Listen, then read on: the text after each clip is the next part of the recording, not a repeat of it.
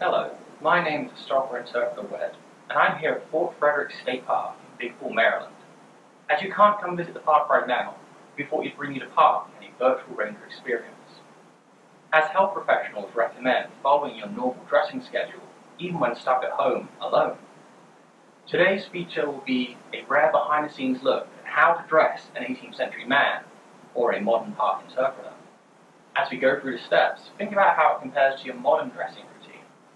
For personal grooming, when wearing your own hair, take a comb and some oil, and tie loosely at the back of the neck with some ribbon. Clean shaven was the fashion of the day, so feel free to shave off those quarantine stashes. For your underwear, a linen shirt. Long and loose, the bottom half is tucked around nether regions.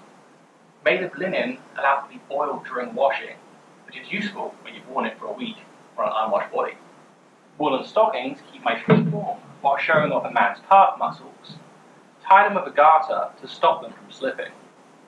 Woolen breeches from my waist to my knee are tight around the thigh to show off again, but loose around the seat so we can have movements. This is less fashionable today, people often say it looks like we have a full diaper. A waistcoat is the next layer, in this case white wool to match my breeches.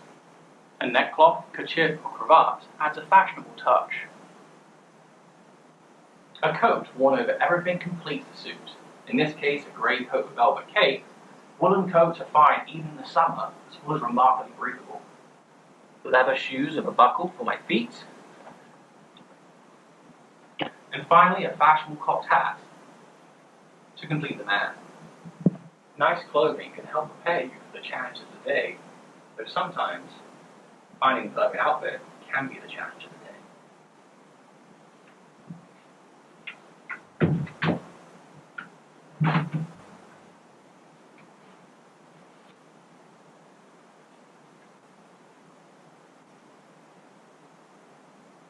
Thank you for joining me on a Maryland Park Service virtual ranger experience, and we hope you'll join us for another soon.